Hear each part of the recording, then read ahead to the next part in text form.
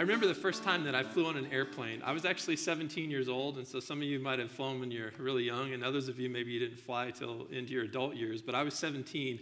And at that point in time, and even still today, I'm a little bit of a calculated risk taker, and so I'm kind of sizing this up, and I didn't know quite what the experience would be like. And so, on the one hand, I was a little bit excited to try something new, but on the other hand, I was a little bit concerned because I didn't know what this would be like. And so, as the plane started to pick up speed on the runway and tilt back and everything, I was enjoying it, but I was kind of bracing myself. And throughout the flight, I would find myself looking out the window just to make sure the wings were still attached and things like that. No smoke coming from the engines, everything looks fine. And my ears started to uh, build up with pressure, and I actually experienced a lot of pain on the way down. The descent was pretty fast coming into the airport. And so I was a little bit concerned about my first flight experience. On the other hand, I've seen other first time flyers, and some, especially kids, I've seen kids put their hands up in the air like they're on a roller coaster. I mean, it, they're just along for the ride during takeoff and landing. And then I've seen people in tears, even grown people in tears, because flying is very anxious for them.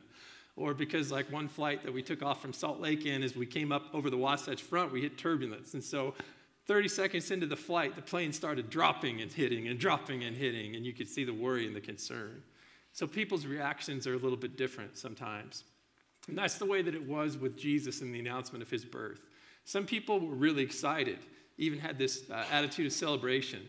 Other people were a little bit worried. Other people were downright competitive with that. And we see all those different instances today. and Maybe it helps us kind of pinpoint where we're at as far as our response to Jesus in our life as well. And this is how this passage starts. We're in Matthew chapter 2 today, looking at verses 1 through 12 starts out this way Now, after Jesus was born in Bethlehem of Judea, in the days of Herod the king, behold, Magi from the east arrived in Jerusalem. So, a couple things that we need to get introduced to here in that, that upfront statement. First of all, is Herod the king. We'll talk about him in a moment because Herod the king has quite the, quite the background in the story. But the other people we need to get used to are these Magi.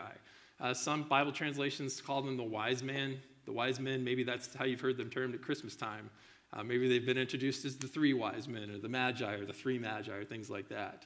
And in, anyway, this group of people, they arrived from the east in Jerusalem. Here's some background on what I think magi were. This is based on history.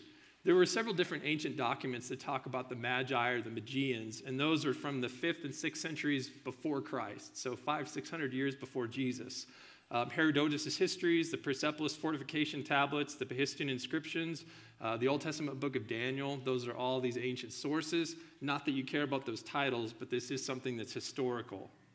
And so they were a priestly caste or tribe of uh, Media. You've heard of the Medes and the Persians, perhaps that empire, so the Medes. And they inhabited what was uh, now Western Iraq since 1300 BC. And when Cyrus the Great united the Medes and the Persians, at this point in time, when the Babylonian Empire got uh, conquered, they were brought in as priests and advisors. They were people who looked to dreams and they looked to the stars to give them interpretations and signs and information. And so, in the book of Daniel, when you see these other wise men with Daniel and they're having these interactions, that's very probably who these people were that they were interacting with. And they performed a lot of religious rites and rituals. And eventually, the Medes and the Persians were conquered uh, by the Greek Empire. And so they kind of headed from western uh, Iran to eastern Iran and joined uh, the Parthian Empire. And so for a few hundred more years, they were advisors. But again, they, they had this penchant toward the stars and dreams and kind of mystical ways to interpret uh, God's will for those people in those empires. It's a little bit of background on them, but they were very connected with government administrations in those empires. And it says, This group of people said in verse 2 Where is he who's been born king of the Jews? King of the Jews is not a Jewish way to refer to a king. They would have said the king of Israel. And so these were Gentiles, people from other nations, these uh, magi were. And so the question is why would a group of people from eastern Iran be so interested in the birth of a Jewish king? Yeah, it seems like an odd thing. They perhaps traveled up to 40 to 60 days on a journey, um, maybe 1,400, 1,500 miles or so to find this king of a tiny nation when they were a part of this expansive empire far away. Why would they do that? I don't think the Bible tells us exactly, so we can, you know, come to a few theories perhaps. I think it's possible that, again, hundreds of years before, when this group of people, the Magi, had interactions with people like Daniel in the Old Testament, perhaps Daniel, perhaps some of the Jews that were exiled into that uh, Babylonian and uh, Mede and Persian Empire, maybe they had some interactions. Maybe they shared their scriptures and their prophecies with this group of people. Or maybe Daniel even told these, these people, you know, in a few hundred years, they're going to look at a king coming, king of the Jews. And this king is going to be more than a king. This king is going to be this deliverer, this savior. This king is going to be God. Maybe they knew that information. Um, maybe it was because this star appeared. And we know later on in the story, in fact, in the next statement, that there was this mysterious star, and they pay attention to uh, astronomy and astrology and the positions of stars and comets and things of that nature. And so maybe this thing caught their attention. And maybe it was because in the Old Testament book of Numbers, there was a star that was associated with this prediction of a future Jewish king. Or maybe it was just because God used it to get their attention. Something in creation stood out to them, and they associated it for some reason with Israel. So they took a journey. Maybe God appeared to them in a dream and told them these things because they also looked to dreams to receive interpretations from God. Maybe it was some other reason altogether. We really don't know, but we know that they simply said, We saw a star in the east. We came here to worship him. So this is more than just a king who deserves recognition. This is somebody that they want to submit to or bow down to. They recognize this king is greater than they are. We really don't know the story of how God got their attention. And sometimes God gets our attention in some pretty mysterious ways to draw us to Him. And that was definitely the case. So it seems like they're kind of excited. They've got some anticipation. But the reaction of Jerusalem when they arrive is very different. They are very concerned. Uh, sometimes there's things in life that they should make us really excited, but they make us really concerned. I know when Christine and I uh, experienced the birth of our second child, our daughter, um, Capri, when she was born, it was a very exciting thing, but at the same time, it was very concerning because my wife had had gestational diabetes throughout her pregnancy, and so her blood sugar was always high. And as a result of that, Capri in the womb got used to lots of blood sugar. So as soon as she was born and separated from that connection to her mom, her blood sugar just dropped, it plummeted. And it was really hard. She wasn't eating well, and that blood sugar wasn't coming up. And the people in the hospital told us, you know, if we don't see improvement by the morning, she's going to have to be admitted to the NICU, and that meant more costs and more separation and more experiences that we weren't prepared to deal with. And so we were just really concerned. Thankfully, kind of at the last moment, her blood sugar popped up a little bit. We were able to get some, some milk and some formula into her, and help with that. But we really didn't know, and it was kind of, uh, kind of concerning for us. And so, while it was really neat to have a child, there was a lot of concern in those first few days. It kind of put a damper on that celebration. And that was the case in Jerusalem um, as well. This news of a birth of a Jewish king, it caused a disruption among the people, among the king in Jerusalem. And it happened for a few different reasons. I want to give you a little background as to King Herod and what his situation was like. He suffered from psychotic levels of paranoia, just to give you a little detail on his background. As a king, and he ruled for over 30 years in Jerusalem, he executed his brother in law for a conspiracy when he suspected two of his sons uh, that they were plotting against him, he charged them with treason and had them executed. And five days before his death, his firstborn son, who was heir to the throne, in five more days he would have taken over the throne, he actually charged him with plotting against him, and he executed him right before he died. That was to tell you about the way that this king operated. And everyone in Jerusalem knew King Herod is unstable psychologically. He wasn't heir to the Jewish dynasty, one that had been in place for about the last uh, maybe 80 or 90 years before him. He wasn't the next ruler in line. He had been placed into his position uh, by Rome, by the government in Rome. The Senate put him in that position and they took someone else out of power. And so he didn't really have a right to be the king in Israel. He wasn't even a Hebrew. Uh, he was an Arab. His parents were from uh, both south and I think a little bit further uh, southwest of of the nation of Israel and its location from a different place, from the country of Jordan and from kind of the south desert of Israel. So he wasn't even Jewish. He had converted to Judaism, so he practiced it nominally, but he wasn't really uh, religiously committed, as you might be able to tell from the way that he was acting and behaving, even toward his own family. And so all these things uh, came about. He was very unstable, and he was hated by the Jewish people. There was a, a Jewish historian who wrote in the mid first century, his name was Josephus, and this is what the Jewish people thought about King Herod. He was not a king, but the most bar- barbarous of all tyrants. The Jews found him to be such uh, by the sufferings that they underwent from him. So he caused them to suffer. He says, When the very great number had been slain by him, those that were left, they had endured such miseries that they called those who were dead happy men. And then goes on to talk about what they did to those people. And so he was a very cruel king, and he put down any opposition with execution, essentially. And so the Jewish people hated him for it, and he hated the Jewish people. He was very paranoid. And so they were concerned because this king now had a little bit of a rival who had just, uh, just cropped up, just sprouted. Also, when the Magi came in town, the Magi probably were not alone.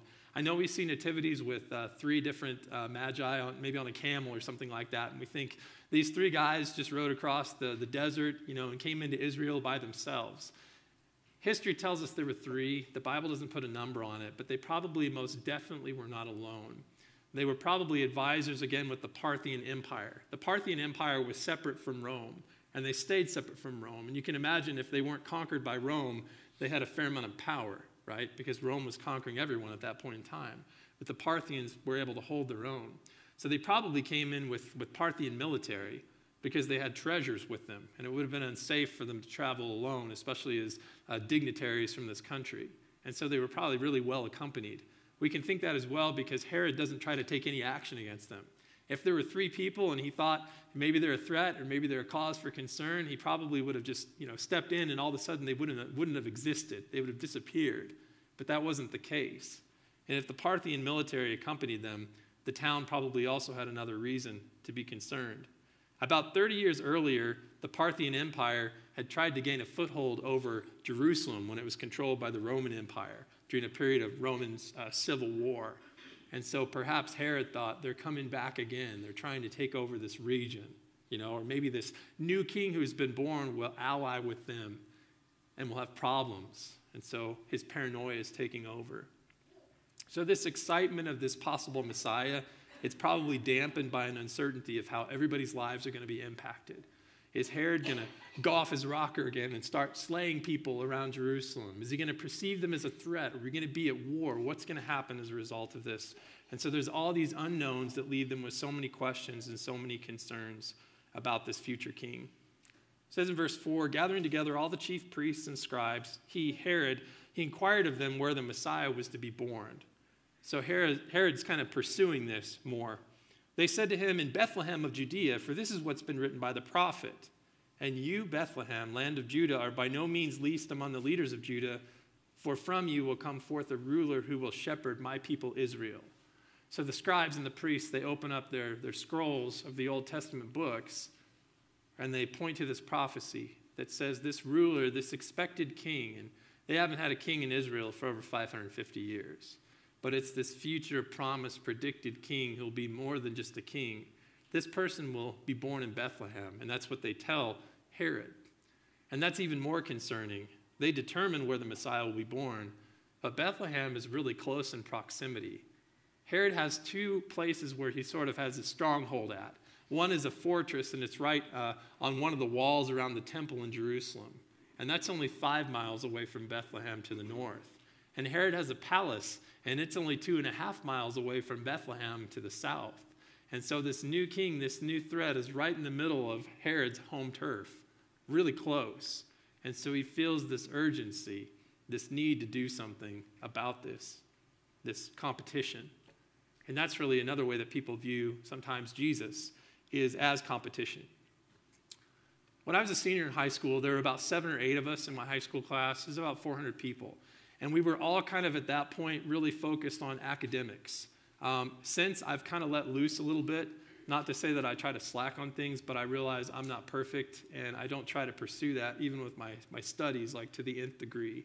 But in high school, I was kind of perfectionistic, and so I wanted, I wanted to do well. I wanted to keep a high GPA, and there were about seven or eight of us that were in line for valedictorian in the sense that our GPAs were all the same, and they were all fairly high. And so there was going to be one thing that would determine who would come out on top and get to do this valedictorian address or speech. And that was our SAT scores. So we all took these tests, national tests, and at that point in time, they were scored a 1600 was the highest that you could possibly get. And so we all kind of anxiously awaited our results because we were competitive with each other. And so I got my results, and I was fairly happy with them. Um, and so I went and I, I, shared that with a couple other students. One student in particular, uh, she and I had been competing for the last six years to see who would get the best scores on tests and all these things. We'd shared a lot of classes together. And so I went up to her and said, Hey, how'd your test go? And she asked me how mine went. So I told her my score, and then she told me her score, which is about 50 points higher than my score was. I was like, Well, I guess I didn't, I didn't get that one. Maybe she'll be the valedictorian. And then we went to another one of our classmates, and she said, Well, I got a, I got a 1590. I missed one question on the test. So all of us just looked at each other. You know, there goes any of our chances. So, and she was so, so perfectionistic, she tried to take the test two or three more times to ace it and never, never got more than, I guess, never got a perfect score on that. But we were competitive, and we almost didn't view each other as friends at that point because there was competition that was involved. We want to be better. We want to put the other person down in that sense. And Herod had an extreme sense of competition when this revelation of a new Jewish king was given. It says in verse 7 he secretly called for the Magi and determined for them the exact time that the star appeared. And so he wanted to estimate the date of this new king's birth. He's doing a little research because he has a plan up his sleeve. And it says he sent them in verse 8 to Bethlehem and said, Go and search carefully for the child. So he's going to use these magi. He realizes they'll lead me to him. If I just tell him, you know, come back and let me know. And the next statement, he actually says, uh, When you found him, report to me so I can come and worship him. And anything everyone knows about paranoid King Herod at this point says this guy's not interested in worshiping this new king. But that's what he tries to sell to these magi. He wants to find the child's location. He deceptively expresses this desire. I've got the same desire you do to worship this baby, to see if the magi will lead them directly to him. But he intends to destroy the threat through his throne. And we'll find out in a week or two what he does to try to destroy this new king. It doesn't work because God's a step ahead. But that's his intention. He wants to eliminate the competition. He's done it before a few times, and he's going to do it again. And I think maybe that's a temptation for us as well. Not that we want to strike down Jesus in the flesh, but maybe we want to inf- uh, eliminate Jesus' influence on our lives. Maybe we have our own kind of throne, and we like the way that we do things. We like the way we make decisions, and we don't want anybody else getting in the way of our plan that we have for our life. And maybe when we find out Jesus is this king, maybe Jesus is even more than a king, we start to get defensive and we feel threatened by Jesus because Jesus might ask us to do something differently than the way that we intend to do it. And that's a very possible reality as well. Or maybe we react like the Magi, which I would say is a great reaction to Jesus. And it's really one of celebration. They're excited. I mentioned my high school classmates a few moments ago, and we were competitive at that point in time, but we kind of moved past that. And we were able to actually celebrate each other's successes. And from that group of people that were so competitive for that position of valedictorian, um, their lives actually led them to some really great and interesting places. The friend that I competed with for six years over test scores, she ended up becoming an OB/GYN, uh, went to Africa for a while to deliver babies there and practices in the United States now. Um, one of my other classmates ended up going on Broadway. Another one actually worked for Wall Street for a while. Another one became a school teacher in her hometown. Um, and then uh, the girl that got the 1590 is now a, uh, a journalist who has her MD as well. Um, and I think writes for a lot of may, maybe even major publications around the world and goes on different TV shows to, to contribute medical information. So you never know where God's going to take you or those people. And so now we can look around and celebrate where God's led different people. And I'm a pastor in a town of 4,500 people, La Verkin, Utah, you know. So all of our lives look different. God led us in different ways, but we can celebrate that, celebrate the differences and the different opportunities that each one of us has. And again, I would say that's a good reaction to this news. He says in verse 9, after hearing the king, they went on their way, and behold, the star which they'd seen in the east went on ahead of them till it came to stop over the place where the child was to be found. And so, this star that you know, who knows the origin of? Maybe it was supernatural in origin, maybe it was a comet, maybe it was a planet, maybe it was an asteroid. We don't really know what the identity of that was, but God used that to direct these people who saw that as communication from Him. They were looking for it directly to where they could find Jesus. And I think that's a key point, too. They were seeking, and I know there's that phrase, wise men still seek Him, right, that comes out around Christmas time. But I think that's a very true challenge for us. Um, there's a certain wisdom into seeking. Jesus said, um, You'll find me if you seek me with all your heart. Seeking you will find. And so there's an invitation from God to seek Him. And seeking is a great start. Even if you're at a place where you have questions or you've had bad experiences with religion in the past or you don't know what to believe or you've been let down by your faith, seeking is a great place to start. And these seeking people, God reaches out. God gives them the direction that they're looking for. And God might direct you in different ways. He might cause someone to cross your paths. He might connect you with truths from Him. Uh, he might connect you with information some way. But God's going to put a star out there, something that you can follow. And they were directed right to a place where they could find Jesus and discover him and see more. It says, when they saw the, saw the star, they rejoiced exceedingly with great joy. So they were excited. They celebrated that. I've been looking for this. We journeyed so far. And it seems like for a time, maybe the star disappeared or something like that. But then it reappeared and they saw it and they, they realized, oh, we finally, we found what we were looking for. And they were excited. They celebrated. It says, after they came into the house, they saw the child, and this is Jesus with his mother Mary. Says they fell down and worshiped him. And so there's this recognition from them that Jesus is more than just an average human king. He's someone that deserves their submission. That word worship is an interesting word. There's a lot of words in the Greek language, the Koine Greek, that the Bible was originally written in in the New Testament um, period. And it, there's a lot of picture words. And this picture word is one of, it actually means uh, like a dog towards someone. That's what the word means. And so what they were doing is they were approaching Jesus like a dog would approach its master.